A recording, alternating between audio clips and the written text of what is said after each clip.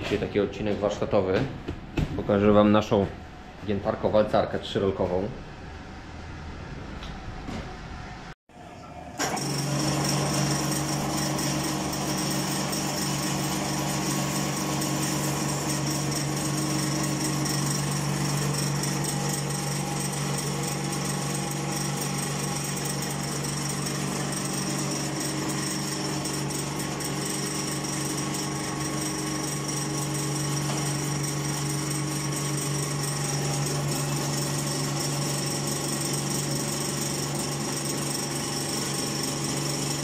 Osłony mam, ale nie montuję, bo zawsze przeszkadzają i muszę ich ściągać, żeby tutaj obroty przełożyć albo coś podregulować. Jak to wygląda w środku? Silnik y, bardzo mały, bo tu jest coś około 1 kW albo 0,9 nawet, tylko że wyposażony w hamulec.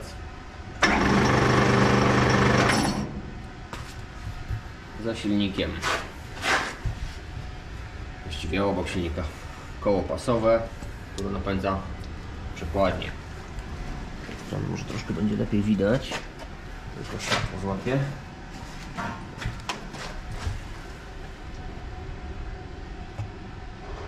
Przekładnia ślimakowa. Dosyć mocna. Coś około 40 do 1 obroty. I co ona tam napędza? Łańcuszkiem przekazany jest napęd w górę. No, nazwijmy to do takiego wałka pośredniego.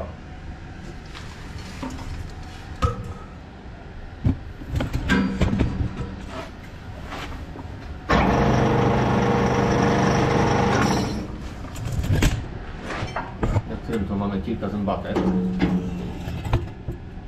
I kolejno, pierwsza Pierwsza zębatka napędza rolkę, rolkę lewą, druga prawą, licząc, patrząc od prawej strony.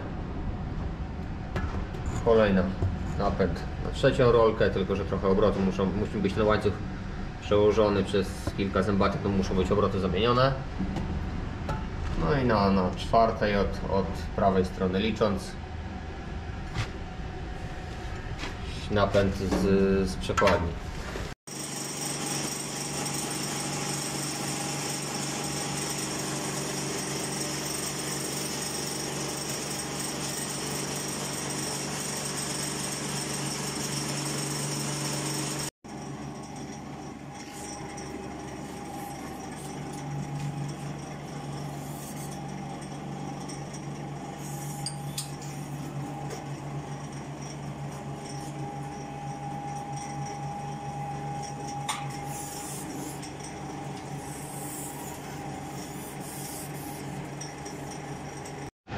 To akurat była rurka 42 z kawałeczkiem kwasa odporna.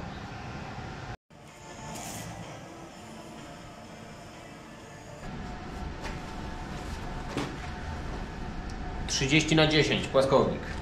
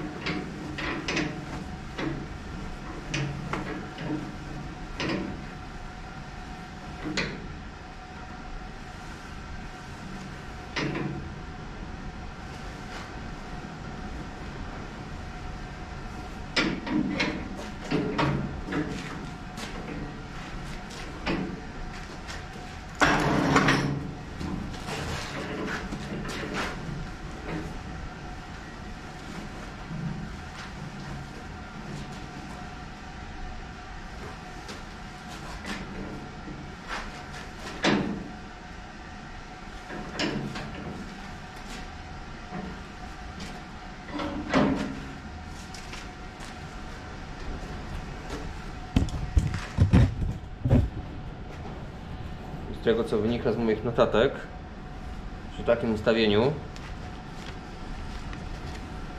sobie piszę. E, Pewnie nic nie było widać.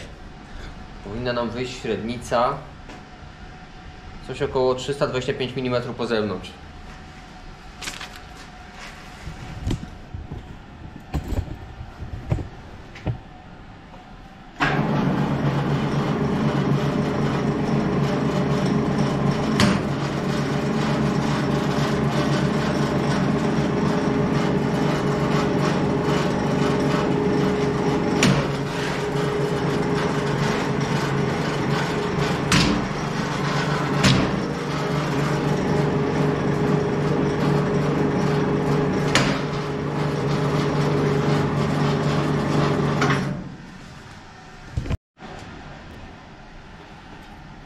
Ile wyszło?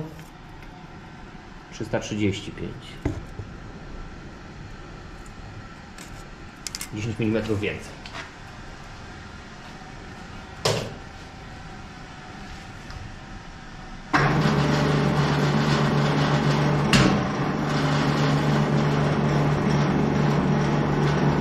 No i tak to wygląda.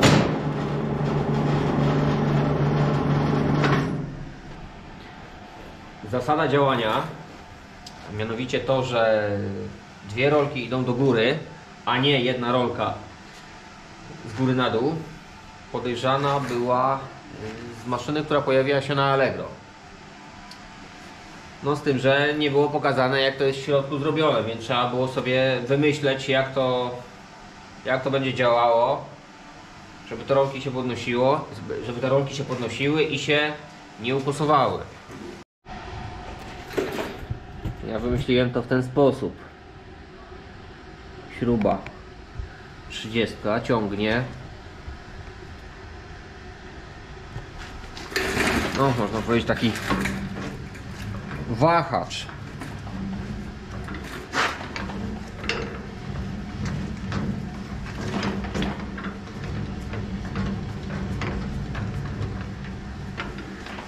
Który jest nawleczony na tym wałku pośrednim. Oczywiście wszystko użytkowane. I z drugiej strony to samo. Wyposażenie dodatkowe. Zaraz zamontuję i powiem do czego służy. No i mam już to wszystko zmontowane. Do czego to służyło? Docelowo służyło do do skręcania płaskowników. Dobrze mówię, w 90 stopni. No co sobie sami zobaczycie, czy w 90, czy w 45, chyba w 90 stopni. Akurat y, one były wykorzystywane do agregatu z wałem ciężkim, na przód-ciągnika. Y, tylko tak, y, jak na złość, nie mam ani kawałka płaskownika, tego z którego to było gięte, czyli 60 na 10. Najgrubszy co znalazłem skrawek to był, to mam na yy, ile? 45 45 na 10. No i jak to i jak to działało? Skrzyneczka ze sterowaniem i mamy tak. Przycisk start, czyli gniemy. I powrót.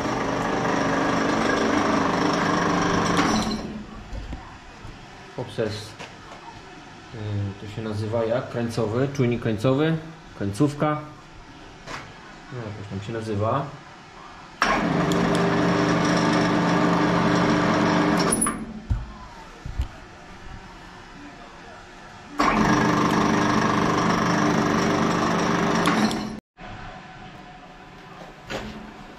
Czyli montujemy materiał.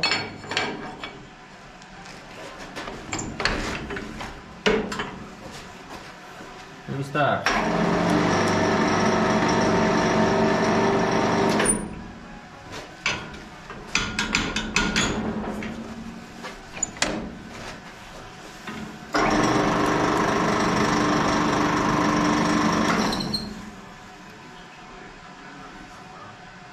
Czyli ile, w ile stopni? W 90.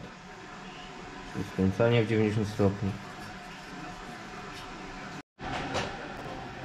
mam jeszcze takie na 8, to jest bodajże 40 na 8. Jeszcze dla, dla potrzeb filmu.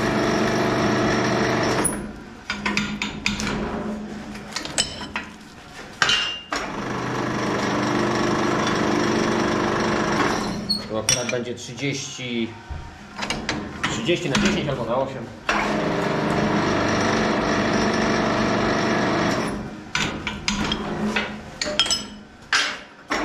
To proces dosyć szybko przebiegał. 60 na 6. Albo na 5.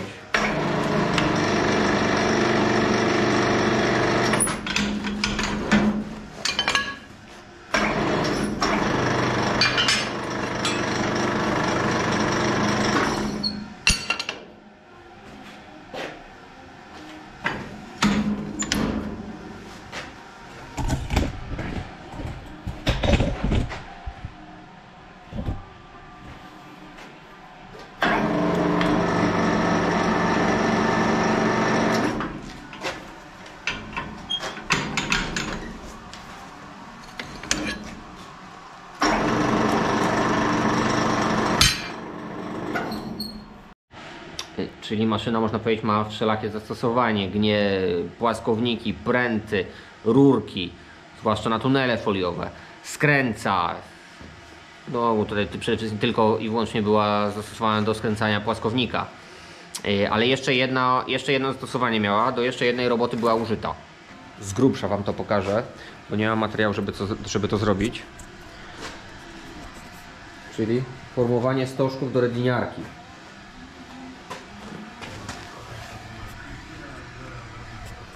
Jak to wyglądało? Jak to wyglądało? Paliłem wcześniej kółko z blachy, z trójki, to akurat mam z czwórki, ale uznałem, że trochę, trochę trudno to było uformować, aczkolwiek wyszło.